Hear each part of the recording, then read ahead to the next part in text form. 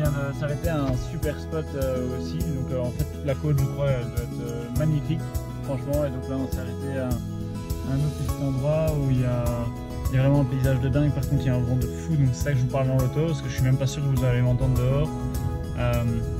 donc voilà, c'est parti, on va aller voir ce spot. Je vous montre la voiture, ce que ça donne. Allez, here we go